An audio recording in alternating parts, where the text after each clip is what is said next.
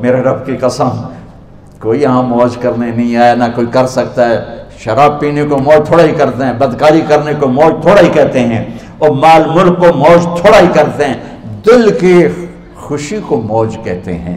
اور اس خوشی پہ میرے اللہ کا قبضہ ہے۔ وہ پیسے سے نہیں آتی، وہ شراب سے نہیں آتی، وہ عورت سے نہیں آتی، وہ عہدوں سے نہیں آتی۔ اضحک و اب کا خوشیاں اللہ دیتا ہے۔ آنسو اللہ دیتا ہے۔ اس دل کو خوش کرنے کا راستہ یہ نہیں ہے کہ آزاد ہو جاؤ۔ یہ نہیں ہے کہ اللہ کا انکار کر دو۔ یہاں اس اس اس جہان کی خوشیوں کا راستہ ہے۔ اللہ کے سامنے جھک جاؤ کہ اس کا کائنات کا پتے سے لے کر ہماریا پہاڑ تک خالق اللہ تعالیٰ ہے۔ اللہ ہے اللہ ہے۔ اللہ میرے شاعر کی قبر روشن کرے۔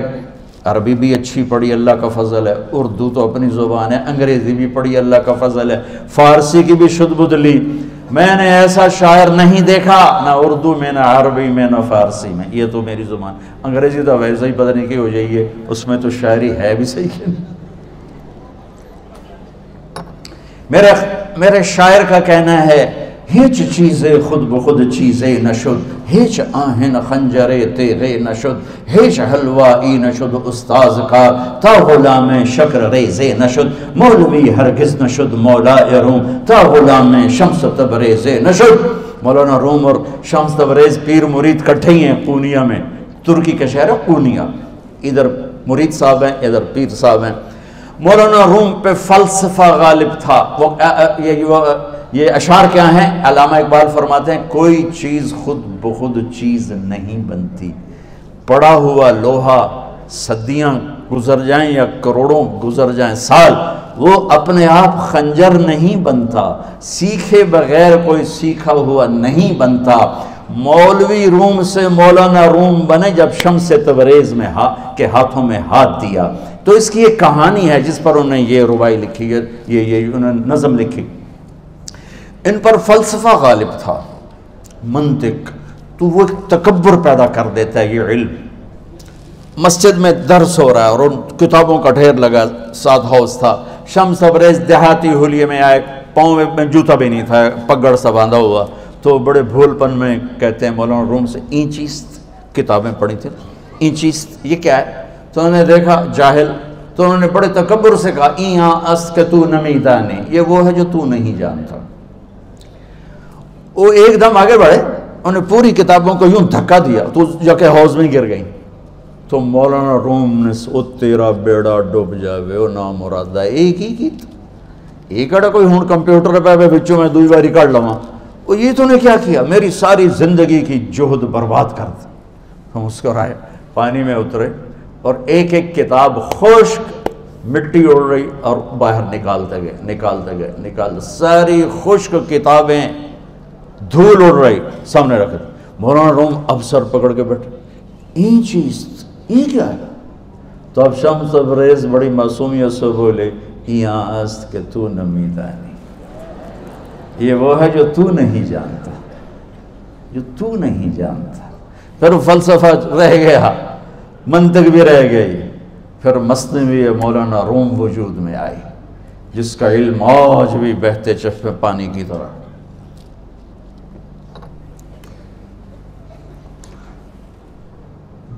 مجھے اللہ کو ماننا ہے، مجھے اللہ کو تسلیم کرنا ہے، مجھے اللہ کے سامنے کھڑے ہونا ہے۔ مجھے میرے رب نے موت دینی ہے، پھر میرے سامنے کھڑے کرنا ہے۔ میں اس دن سرخرو ہو جاؤں، میں اس دن کامیاب ہو جاؤں۔ وہ میرے سیدھے ہاتھ میں پیپر پکڑا دے۔ اور میرا نعرہ ہو ہاں، ابھی اب لوگ نعرے نہیں لگا رہے تھے، یہ خوشی کا اظہار ہوتا ہے۔ فَأَمَّ مَنُوتِ كِتَابَهُ بِيَمِينِهِ، جس کے سیدھے ہاتھ میں پیپر آئے گا کہ ہو، فَيَقُولُ، ہو، وہ ایک نعرہ لگائے تو اس کو قرآن نے لفظ بنا دیا ہو مقرعو کتابیہ وہ کتاب لے کر ہو ہو وہ کہیں گے تم کیوں ہے؟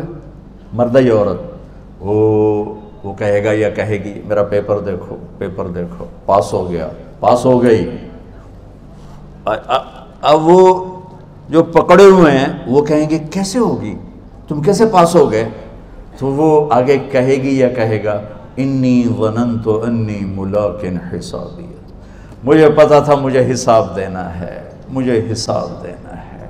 میرے سر پر، میرے اللہ کی نظر ہے، وہ مجھے دیکھ رہا ہے۔ میں تیاری کرتا جیسے آپ جو تیاری کرتے ہیں، بڑے اچھے نمبروں سے پاس ہو جاتے ہیں۔ جو ہماری طرح خالی کتابیں کھول کے دیکھتے ہیں، پھر وہ گزارے والی پاس ہوتے ہیں۔ تو اوپر سے جواب آئے گا اللہ کا، فہو فی عیشت روضیہ فی جنت عالیہ، قطوف دانیہ مبارک میرے بندے کو وہ آئیڈیل ہوم، آئیڈیل لائف۔ دیکھو اچھو دنیا آئیڈیل ہوم بھی نہیں، آئیڈیل لائف بھی نہیں، یہ پیپر ہے، پیپر ہو رہا ہے۔ مالدار کا بھی، فقیر کا بھی، بادشاہ کا بھی، عورت کا بھی، مرد کا بھی، پیپر ہے۔ جو دینے میں کامیاب ہو گیا، آئیڈیل لائف اب شروع ہوگی۔ تجھے ہو آئیڈیل لائف مبارک ہو۔ کہاں؟ فی جنت عالیہ۔ عالی شان جنت میں۔ کیا اس میں؟ قطوف دانیہ پھلوں کے خوشے جھکے ہوئے، پکے ہوئے۔ کیا کریں؟ کلو، کھاؤ۔ وشربو، پیو۔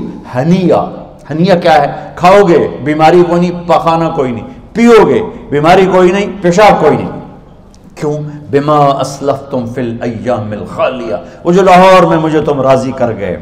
مجھے راضی کر آج اس کا صلح ہے کہ جاؤ، ہمیشہ کی زندگی میں داخل ہو جاؤ۔ موت مر گئی، بڑھاپا مر گیا، دکھ مر گئے، غم مر گئے بشینیاں مر گئیں، شرمندگیاں مر گئیں۔ ہر دکھ درد میرا رب چن دے گا، چن دے گا۔ میرے عزیزو، ہم اس پیپر میں سے گزر رہے ہیں۔ اس اللہ کو راضی کرنے کا راستہ وہ بایولوجی نہیں، وہ باٹنی نہیں، وہ زالوجی نہیں، وہ فزکس نہیں، وہ کیمسٹری نہیں، وہ سوشالوجی نہیں، وہ سائنس نہیں، وہ ٹیکنالوجی نہیں.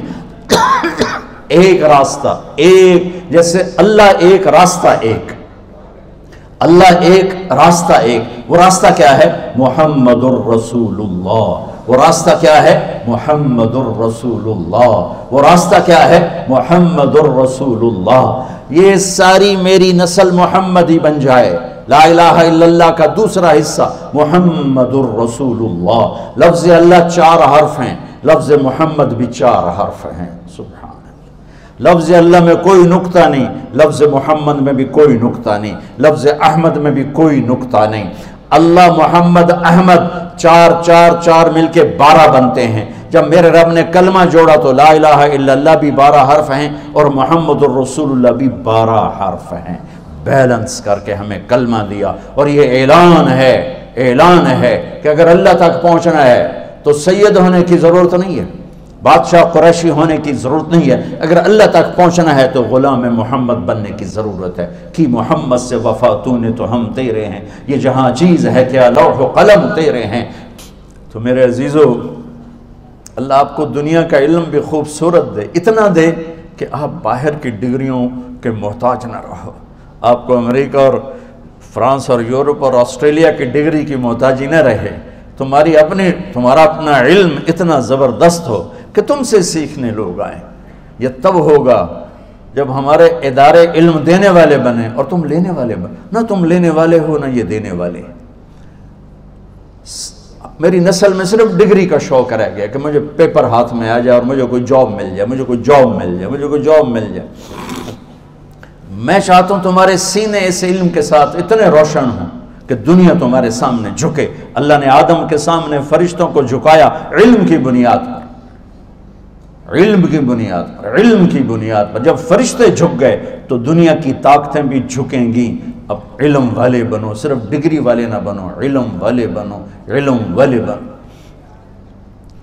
وعلم آدم الاسماء كلها۔ اقرا باسم ربك الذي خلق۔ خلق الانسان من علق۔ اقرا وربك الاكرم الذي علم بالقلم، علم الانسان ما لم يعلم۔ ہماری شان علم میں پوشیدہ ہے، ہماری بڑائی علم میں پوشیدہ ہے، لیکن میرا درد ہے، میرا دکھ ہے کہ میری نسل کو علم کا شوق نہیں، صرف ڈگری کا شوق، جاب مل جائے، ڈگری مل جائے شاید کچھ بھی نہ آتا جاتا ہو۔ در مصطفیٰ پر جھکنے کے لیے کوئی لمبے چوڑے کام نہیں ہے۔ چند باتیں بتاتا ہوں، اسی سے سارا کام ہو جائے گا۔ ایک نماز ہے جو میرے رب نے پانچ وقت فرض کی ہے، اس میں معافی کوئی نہیں ہے۔ میرے نبی دنیا میں تشریف لائے سبحان اللہ کس انداز سے آئے؟ کہ پیدا ہوئے، پیدا ہونے کی شان یہ تھی کہ ختنہ ماں کے پیٹ سے ہوا پڑا تھا۔ پیدا ہونے کی شان یہ تھی کہ ناف اور آنت کٹی ہوئی تھی ماں کے پیٹ سے۔ پیدا ہونے کی شان یہ تھی کہ آپ باہر نکلے تو خوشبو پھیل گئی، گندگی کوئی نہیں باہر آئی۔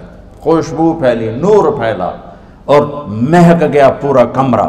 پیدا ہونے کی شان یہ تھی کہ جب ماں کے پہلو میں لٹایا تو آپ نے ایک دم کروٹ بدلی۔ ماں بھی ڈر گئی، دائی بھی ڈر گئی۔ شفا بنت اسد، آپ نے اس سجدے میں سر رکھا ایسے فل سجدہ گھٹنے اٹھا کے ہاتھ رکھ کے یعنی اوندھے نہیں ہوئے، سجدے میں گئے۔ سجدے، وہ لمبا سجدہ کی وہ لمبے سجدے کے بعد یہاں اس ہاتھ پہ زور اور یوں چھاتی اٹھائی اور اس ہاتھ کو اوپر کر کے انگلی ایسے کی تو نور ہی نور چاروں طرف پھیل گیا۔ اور پھر آپ گرے اور معصوم بچہ آتے ہی سجدہ لے کر آئے۔ امت کو پیغام دیا کہ سجدے لایا ہوں وہ جی پڑھی نہیں جاندی، وہ جی میٹنگ تھی، وہ جی یہ تھا، وہ جی لیکچر تھا۔ ہائے ہائے، کربلا سے بڑی مصیبت تو نہیں آتی تم پر؟ جب وہاں میرے نبی کے نواسے نے نہیں چھوڑی، تو باقیوں کے لیے چھوڑنے کی گنجائش مٹا دی ہے۔ اور جب دنیا سے جا رہے تھے اور آپ کے آخری الفاظ تھے وما ملکت ایمانکم، نماز نہ چھوڑنا، نماز نہ چھوڑنا، اور میری امت کے غریبوں پر رحم کرنا، نماز نہ چھوڑنا، میری امت کے غریبوں پر رحم کر